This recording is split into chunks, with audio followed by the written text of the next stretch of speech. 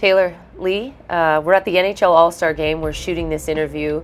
Uh, the state of hockey, Minnesota, the team you both play for, the state you grew up in. Uh, we'll start with you, Lee. What does it mean to play for Team Minnesota and play professional women's hockey? Uh, both of those are really exciting, and to get to do them both together all at the same time uh, is really special. It's something growing up I didn't know if I'd get the chance to do. Um, and so to have a league come together like this and then to be a part of Team Minnesota and like you said, the state of hockey, uh, it's been an awesome year so far. Everything you know you would want to dream about in a professional league. I don't think it was a surprise that you were going to get, get drafted first overall, but nonetheless, it, until the moment happens, you never know. And then you go to Minnesota. You know, what's the memory from that moment? Yeah, I remember obviously um, in the summer when there hadn't been the, you know, the the rankings yet of who was going to get first pick, second pick, third pick, whatever. And you know, I talked to my parents, and it was just like just an exciting time to be a part of something big and something new. And it's been really exciting. Obviously, it was a, an exciting time in the draft and everything, but I was just really happy to be a part of something that I can continue to play hockey. And that's what all of us wanted to do. We just wanted to play. So um, it's been special. Minnesota has a special place in my heart. So it's been it's been really fun. Lee, when you get an opportunity to reflect, who do you kind of remember most about helping you from Minnesota as you grew up a, a young female player? Yeah, you know, I feel really lucky to have been from Minnesota, especially Roseville, Minnesota. Um, the Brodt family has had a huge impact on girls and women's hockey overall, and to have them have a huge impact on my career from the moment I started, really, uh, getting to watch Winny Brodt, being coached by Vic Brodt. Um, they started the Whitecaps, uh, I don't even know how many years ago, and, and, that really laid the groundwork to have a pro team there today. So still really grateful for everything that they've done for both myself and girls hockey. And Taylor, what about you? Who, who do you look back as someone who really helped your career from Minnesota? Yeah, my story is a little, I feel like, different than most, but Winny definitely, you know, helped me. I She kind of found me in southern Minnesota and, and got me up to the cities um, to play hockey, which is, you know, southern Minnesota, most people probably don't know, but it's very small. You, you get some stars here and there, but it's not a lot of really good hockey. I really enjoyed it because my best friends were down there, but you know the cities had the best hockey. So I played on the Minnesota Machine, and we traveled all over Winnipeg, Toronto, all these places I've been um, as a child. Uh, Scott Bulby was my coach there, and he's you know been someone I've looked up to for a really long time, and I've been able to play with his, his kids for for a while now. But Minnesota, there's just been so many people you can't really say everyone's name. It's the list is ongoing and long, but you know, just like Lee said, very grateful to be a part of such an amazing community that you know relishes the hockey community, but also like just cares so much about you as a person as well. I'm going to stick with you, Taylor, because I'm going to ask you to describe Lee and the type of leader and player that she is. Um, number one that comes to my mind is mother. Like she just, you know, cares about you in a way that like your mother would, and but she does everything the right way. You never have to ask her twice to do something when it comes to someone else.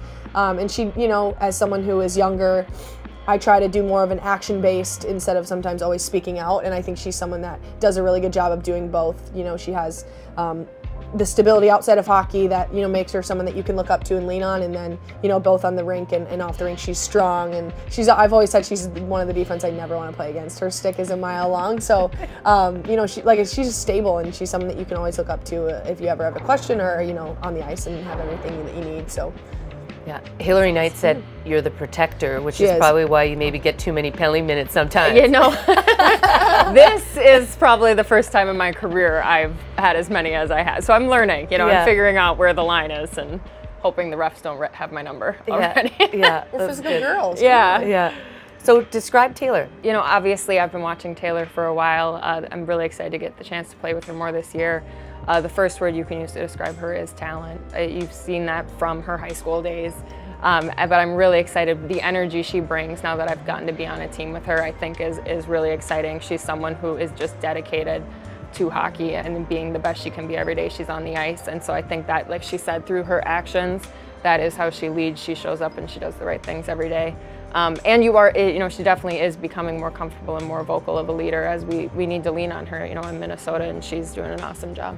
thanks Give each other 20 bucks later Yeah, in the story. behind the table. yeah. Um, favorite moment so far playing in Minnesota?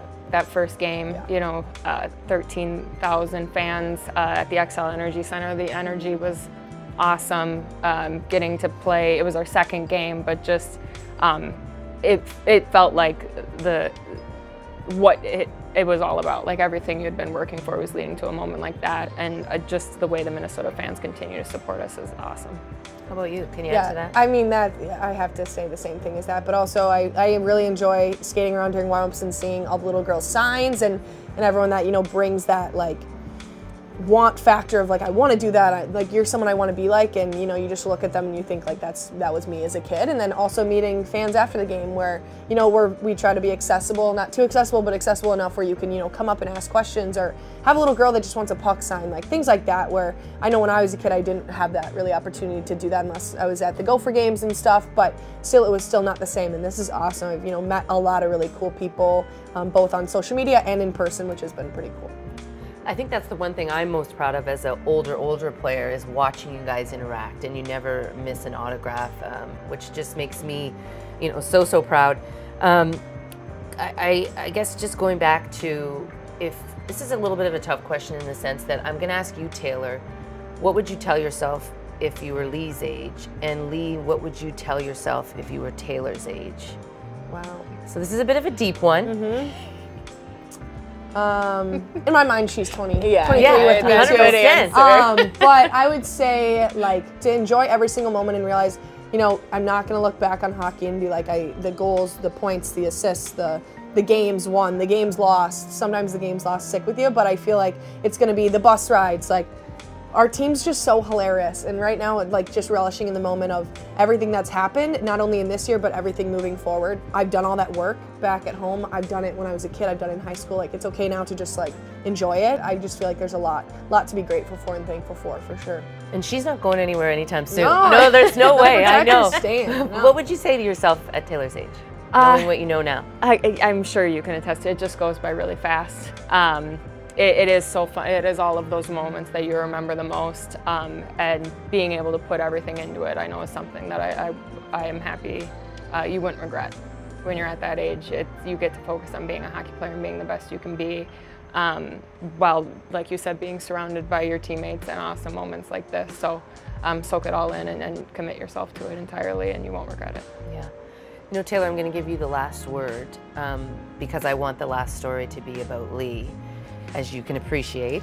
Um, what does it mean to you to play with players like Lee, who basically sacrificed four years of their career so that you could be the first ever draft pick? And you know, what does that mean to you? I get chills talking about it. Um, but I just would think like she's said stories and everyone that's like came before me where like I didn't have to go through the hard times and I fully appreciate everyone that did. But like listening to some of the stories, like they're laughable sometimes, like with the things that they had to go through and you know either harassment or like people not understanding how like concrete our sport is and sometimes you just need to get the word out there but like they went through so many things that like i just can't even imagine um, going through and to just have you know someone like lee and, and other people on our team kendall and you know people in our league like hilary and, and pooh and all the, those type of people who have you know been through it and been like this is nothing. Like this is great. I'm living the dream. But all that hard work and sacrifice obviously led up to this moment and it's a special one to be a part of and a special one for not only me to share with them but them to share with me all of those experiences they've had and all those things that led up to this. It's important you know for someone like me who's young to know and, and to truly relish in the moment that this is a dream and i'm living it and i haven't had to have the nightmares prior so um, obviously like they love what they do so much and they've sacrificed you know paying for their ice and getting up at five in the morning like stories like that are you know ones that make you cringe a little bit, but you know they do everything the right way and, and they're living their dream, and I'm, I'm happy to be a part of that with them as well. Yeah, it's awesome. It's a great dream, isn't it? Yeah.